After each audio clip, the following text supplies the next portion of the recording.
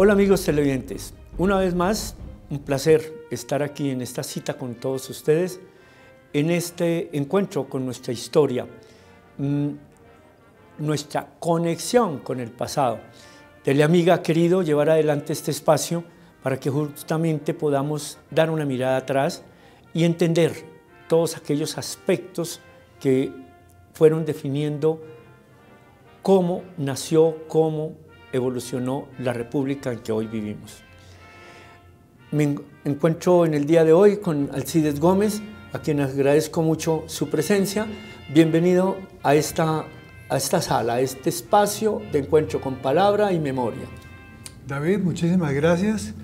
Eh, me parece una excelente oportunidad para llevar a un público amplio eh, aspectos del surgimiento de nuestro Estado y de nuestra nación. Sí, estamos por eso centrando la atención porque cuando la historia tiene que ver con todo, pero aquí centramos la atención en, en esta historia y, y, hacemos el énfasis es, ese que es un asunto de todos y con ello estamos significando el, el mirar esos aspectos que se fueron definiendo una vez que se da este proceso libertario en, que, que nos hemos referido en programas varios y en los cuales hemos recordado cómo después del grito de independencia hay una primera república, hay una primera constitución del mundo hispánico que fue la del 4 de abril de 1811 cuando emerge el estado de Cundinamarca. Luego hay una evolución y por supuesto en las otras provincias del territorio de la Nueva Granada. Hay una primera república que luego que viene la reconquista española es aplastada, es dejada de lado y luego emerge de nuevo con la campaña libertadora y el triunfo en Boyacá. Pasamos entonces a esa república. Con Alcides vamos a hablar, tomando esto en conjunto, cómo es eh, de importante ver el contexto internacional que, en el que va a, nacer y a moverse este Estado que germina con este proceso. Entonces, ¿qué podemos decir, Alcides, sobre ese, ese panorama internacional que definía tantas cosas de lo local? Sí, realmente va a pesar muchísimo más de lo que uno cree. Eh, lo primero, la tarea número uno del nuevo Estado que surge es en la Primera República. Es la República. Entonces, esa forma estatal que se da, obviamente tenía un referente. Ese referente era España. Hay que tener en cuenta que no había conciencia de país, simplemente esto era un territorio parte del imperio español. Correcto. Bien, entonces eh, la forma como surge España ha sido un larguísimo proceso, fue un proceso difícil de unión de distintos reinos. A la época, lo usual eran, era la existencia de ciudades-estado, o más propiamente, ciudades-puerto que a la vez se constituían como estados. En el ámbito de ciudad, piensen ustedes que hacia 1500 existían mil ciudades puerto en Europa, un millar. Bueno, entonces, la forma que España se da de Estado en esa unión es muy particular. Cada ciudad-estado con su área de influencia, la provincia, conserva su identidad. Identidad en materia monetaria, en materia fiscal, en materia de justicia, donde al final lo que tenemos es unión de estados, en esos es una unión de estados, en el ámbito de ciudades, estados. Bueno, pues tengan eso presente, tengan eso presente. Por algo que, que, es muy importante y que creo que va aflorando aquí con, con tus expresiones, que es lo decisivo de la economía, porque cuando bien mencionan las ciudades y las ciudades puerto, lo que allí está inmerso es ese concepto de, un foco mercantil, de un foco económico, que pues es el que va articulando las distintas sociedades y que va llevando a esa concepción de unos estados mm, integrados por las ciudades. David, permíteme un puntico que es importante para conectar con el final, digamos, de lo que mencioné. Es antes que grito de independencia, se viene dando gritos de autonomía a nivel de ciudades. Correcto. Y de rivalidades entre ellas. Correcto. Entonces, ese punto va a ser muy, muy importante. Bien, pero lo segundo, para poder tener el contexto, el caso inglés. En el caso inglés es radicalmente distinto. Allí es una unión de estados, pero donde cada uno de los estados que se une, llámese Gales, llámese Escocia, Irlanda, simplemente entran a ser parte de la unión, ¿sí? Y digamos así que esa autonomía que se tuvo en España ya no, digamos, no va a estar allí presente. Es, otra, es otra, forma, es otra figura. Para la época que nos interesa, nos va a permitir mirar dos cosas. Una, cuál fue la experiencia americana de la revolución, como la llamaban en la época, de 1776, sí. Por un lado, y por el otro, la Revolución Francesa. Revolución Francesa con énfasis en la centralización de un Estado nacional. Y en el caso de la Revolución Americana, la autonomía, la importancia de la autonomía a nivel de lo local, ¿sí? de lo regional y local.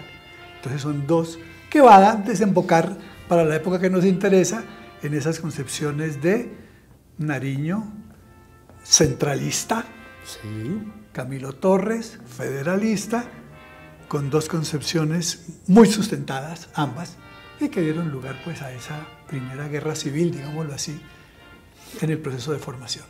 Y en esta mirada a ese aspecto internacional, con esas concepciones diferentes en una y otra de estas potencias del momento y que llegan hasta hoy, mm, ¿cómo podríamos entonces eh, un poco sintetizar eh, esas influencias dentro de lo que aquí veníamos teniendo ese virreinato y que aporten a esa germinación y a esa construcción incipiente del Estado? Bueno, yo creo que se van a traducir en lo siguiente, en dos concepciones distintas alrededor de el concepto de la riqueza, el concepto de cómo se construye la riqueza.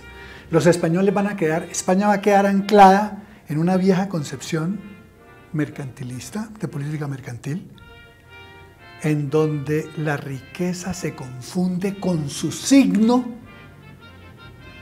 el dinero, el dinero representado en el oro, ¿cierto? ¿Sí? La moneda pues de reserva, por una. Pero los ingleses van a plantear una concepción radicalmente distinta. Es que la riqueza no se halla, no se la encuentra, se produce.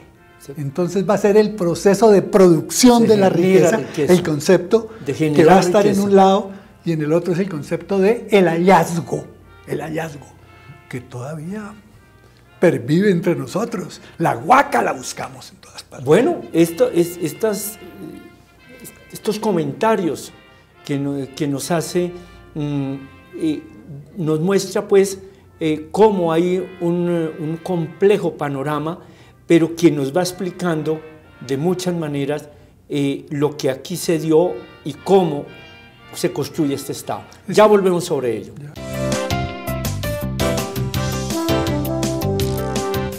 Bueno amigos televidentes, volvemos entonces en esta conexión con la historia, estamos centrando hoy la atención en, en esa, esos aspectos, esa situación de la economía, un antes, un después de estos procesos entonces debemos, pues, desde luego aludir a cómo la economía en tiempos de la colonia viene toda la independencia y entonces en ese estado que comienza, qué cambios radicales se presentan.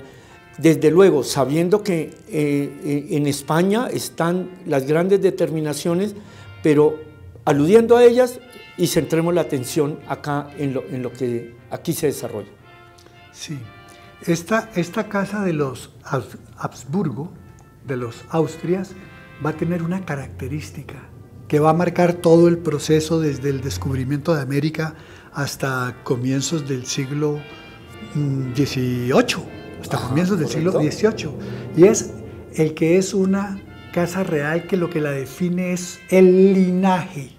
Es decir, los territorios son incorporados al monarca, al monarca. En Inglaterra también, pero con una diferencia, que allí el monarca es de la nación, ¿sí? Y la gente lo reconoce como su rey. Acá hay unos problemas. Se de otra manera. Por la forma como se crea ese estado, esa, esa, ese estado superpuesto, ese estado compuesto, que se, lo podemos ver claramente Castilla, Aragón, que incluye Cataluña, Valencia. Que duraron mucho tiempo mm, eh, enfrentados y que se suman y ahí encuentran un punto de fortaleza. Entonces, eso generó lo siguiente: un efecto mimético en las colonias. Y en el caso nuestro, para la Nueva Granada, los descendientes de los españoles también van a asumir una conducta similar, ¿cierto? Entonces, eso va a tener efectos, digamos, muy, muy importantes, en, por ejemplo, en el aspecto de la tributación. En, en esa España que está naciendo y que es un largo proceso de nacimiento, el de la misma España, los nobles consideran que por su condición de nobles no están obligados a tributar. No están obligados a tributar. El tributo es para... Otros y de ahí viene esa carga de tributos al pueblo. Entonces, esa carga que alimenta un descontento. tipos de tributos distintos son los que se van a dar al final con un efecto. Y es que en el cambio a los Borbones, los Borbones dicen, esto no puede continuar esto no puede continuar. Entonces, no estamos aprovechando bien, explotando bien nuestras colonias. Entonces viene un apretón tributario, un apretón tributario que se va a manifestar, por ejemplo, en la participación de los impuestos dentro de lo que podríamos llamar la economía nacional. Producto Interno Bruto, ¿cuánto pesan los impuestos? Hacia 1765 esa carga era del 2%. A 1810, cuando estamos hablando de grito de independencia, ya era el 11%. Es decir, en unos pocos años. Casi cuatro veces. Cierto, se había cuadruplicado, digamos, la carga per cápita. Carga que allá había tenido un detonante cuando se agrega el impuesto de la Armada de Barlovento. Ese impuesto era muy importante. Que lleva a la revolución de los comuneros. Claro. Pero uno pensaría que ahí pararon y, no quedó la lección, se siguieron aumentando. hay una situación paradójica que se da allí, y es para el imperio, cuando se da el proceso de independencia, ya se ha ido bastante lejos en el avance de sanear las finanzas públicas, pues para la metrópoli, ¿cierto? ¿Sí? Y sin embargo, en ese momento, por el efecto mismo de la carga tributaria sobre la población, pues ella es la que va a protestar. Entonces viene... Ahí se alimenta ese... Todo ese proceso de, digamos, de... Mm, desde, México hasta, hasta Río de la Plata de protesta por el alza de impuestos. Son unas formas de ver la economía, unos estilos de una casa eh, real y luego de otra, pero, y, lleva finalmente a que aquí estuviera todo esto acumulado, que bien se refleja en el memorial sin de Agrado. Embargo, Además de la representatividad. Sin embargo, es importante, comparativa con, con, el resto de, de, colonias, el, el, aporte de la Nueva Granada era bastante pequeño con relación a la Nueva España, o sea, México, con relación al Perú, bastante bajo. pero, pero España estaba en una situación que por las guerras que había eh, enfrentado, las guerras napoleónicas, demás, demandaba muchos recursos. No solo e, esas guerras, sino que realmente la exacción de excedente de las colonias americanas hacia la metrópoli era absolutamente gigantesca. Más aún, con un, con un riesgo de mayor pérdida de territorio del imperio español. Eh, hacia 1740 los ingleses invaden, toman el puerto de La Habana. entonces la señal, el mensaje era claro para las autoridades españolas. Si esto no se modifica con las reformas borbónicas, vamos a ver perder, vamos a ver desgranar la mazorca de nuestro imperio. Y como esto había sido motivo de discusión entre los criollos, cuando se, se llega a la independencia y hay que organizar el nuevo Estado, eh, se, se, buscó ser muy prudente en, en, no, en, no, colocar más impuestos, lo contrario, ver cómo se desmontaban de toda esta carga que se traía en ese periodo colonial. ¿Qué, qué, inflexión podemos eh, notar ahí? Eso que has anotado mm, tuvo un efecto rapidísimo. Es entender que bajo la euforia del grito de independencia de 1810 se desmontan los impuestos coloniales, la tributación que pesaba sobre cada uno de los miembros de la población indígena que tenían que tributar. Se desmonta el impuestos del alcabala, el almojarifazgo, impuestos de estirpe colonial son desmontados, pero rápidamente, eso es de 1821 con claro. Que ahí hubo como al calor de los acontecimientos hubo un querer que la gente sintiera un cambio, un alivio en ese peso que se traía. tiene obtener la libertad si seguimos en, las, mismas, condiciones. Bueno, rápidamente, hacia 1826 ya el Libertador da un instructivo a Santander acerca de desmontar, más bien devolver a los impuestos que por la fuerza de la costumbre estaban en la colonia. Alcides, dejemos ahí por un momento, vamos a una pequeña pausa y ya volvemos para completar este panorama sobre esas apreciaciones económicas en el nuevo Estado.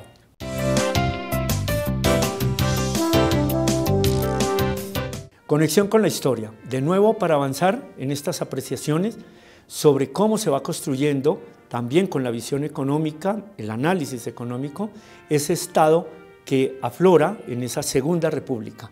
Bueno, Alcides, íbamos a, referir entonces a, eh, cómo em, em, abordan este tema Bolívar, Santander, toda esta organización que se va dando.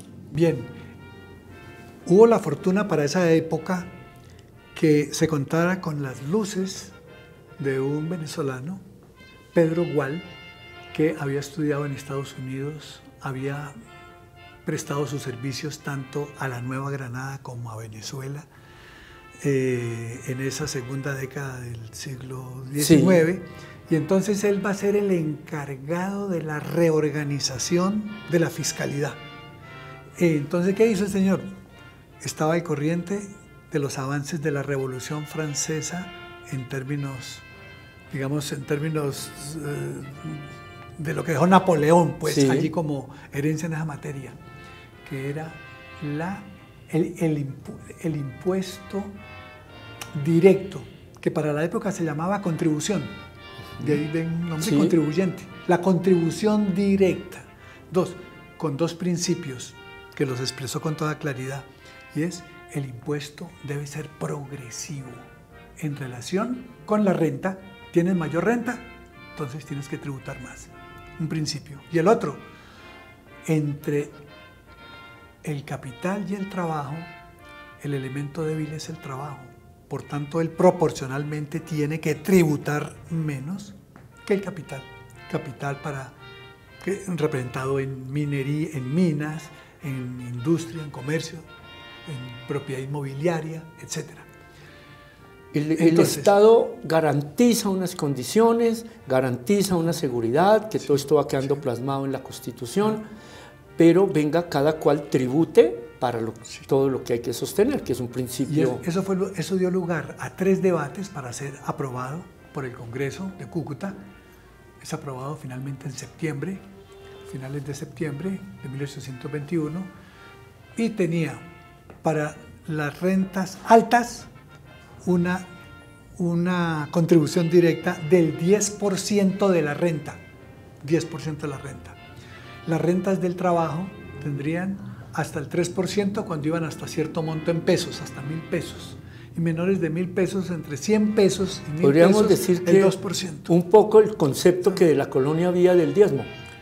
Sí, un poco. Un poco eso, ¿cierto? la contribución de un 10% sobre el ingreso. Ahora es desde el Estado. Pero lo que es interesante es que para la época el avance que eso representaba en términos de equidad tributaria, digámoslo así. Ah, buscando siempre la equidad. Justicia distributiva.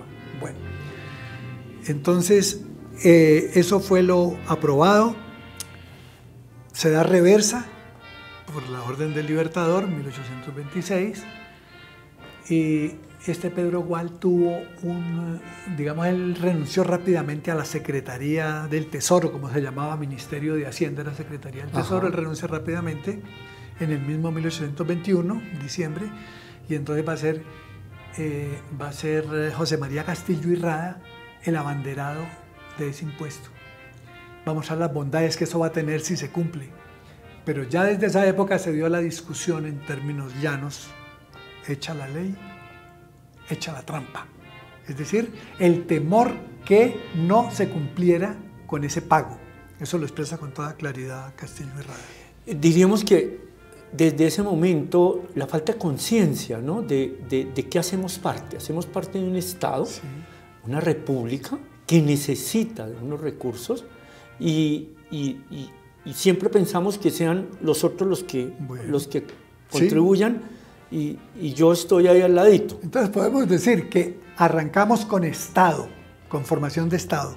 Teníamos muy buenos jurisconsultos, abogados excelentes, muy bien. Entonces en esa parte se avanza, pero en la parte de nación va más lento. Hay un pensamiento de Bolívar expresado justamente allí en el Congreso de Angostura, en donde se hace la siguiente pregunta. ¿Cuál es nuestra identidad? Y entonces va a decir, estamos ante la situación más compleja y difícil. Es porque nosotros heredamos de nuestros ancestros unos derechos, por un lado. Por otro lado, hay una población aborigen. Y entonces, y, estamos nosotros. Y nosotros ¿Qué somos nosotros? Y nosotros hemos nacido aquí. ¿Pero qué somos nosotros? Pues que nosotros tenemos que disputar dice ese término. Tenemos que disputar a los naturales la, la posesión de riqueza. Que ellos alegan. Y eso, y el, que ellos alegan. Tener desde siempre. De, siempre. Desde atrás. Correcto. Y entonces. ¿Nosotros qué? ¿Cómo resolvamos ese problema? Ese, punto es muy interesante. Ese punto es muy interesante porque va a dar lugar a, digamos, a una concepción de nación muy polémica. La una va a ser a nivel de discurso. Todos somos, hemos nacido en esta nación. Somos iguales. Todos somos iguales, somos, todos somos neogranadinos, porque en esa época era la Nueva Granada, ¿cierto? ¿Sí? Bueno, para el momento, perdón, todos somos colombianos, todos somos colombianos. Venezuela, lo que era Cundinamarca. Cundinamarca y Quito. Bueno, todos somos, pero cuál es el lugar de los otros. Y él, ¿Cuál es el lugar? Que era la pregunta. Él realzaba que éramos una, entonces, teníamos una idiosincrasia Entonces, a nivel de discurso, todos. Pero a nivel ya de realidades, parece que hay unos excluidos, unos que no hacen parte, pareciera, o que fueran de segunda. Ese va a ser un problema que va a estar allí puesto. Eh, hay otra, una anécdota, pero ya una anécdota simpática acerca de cómo Guayaquil pertenece primero a Colombia que a Ecuador. Sí, eso es muy curioso.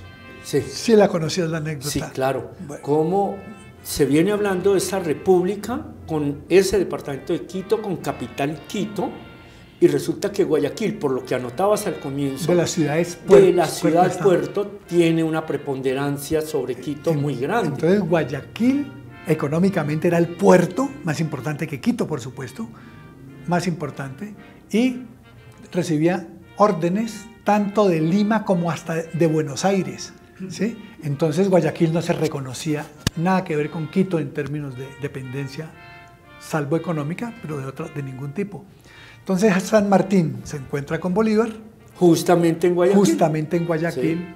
Y ese es un apunte de Manuelita muy interesante, es que prepara la, la tienda, la carpa, digamos así, donde, se van a reunir, pero el decorado interior es la bandera tricolor, aquella pues de Miranda. Es decir, un, mensaje, simbólico, que cuando entra San Martín, Bolívar lo saluda. Bienvenido a la República de Colombia, general. El impacto fue muy grande, pero, pero psicológicamente era, Guayaquil hace parte, va a ser parte de la República de Colombia. Esa República de Colombia, sobre la que tenemos que volver muchas veces, como hemos puesto en evidencia hoy, la importancia de mirar la construcción de nación. Agradecerle al CIDES el que nos haya acompañado hoy a compartir estos conceptos, estos conocimientos. Muchas gracias por estar aquí en el programa. de, de mi parte, yo soy el agradecido y cuento una cuestión. Este libro que se lanzó en la Feria del Libro fue seleccionado por la Cámara del Libro como eh, eh, cuyo lanzamiento se hizo en el pabellón del el Bicentenario, que fue la nación invitada en este año. Entonces allí, allí tuve la oportunidad, digamos, de hacer un conversatorio como lo estamos haciendo ahora. Claro, y es muy clave porque el título nos lo dice todo. Estado y Nación, 1810-1830 ese espacio interesantísimo que nos tiene que em, demandar todavía más atención para que podamos comprender el presente. Amigos televidentes, ha sido un placer de nuevo estar en esta conexión con la historia. Muchas gracias, David.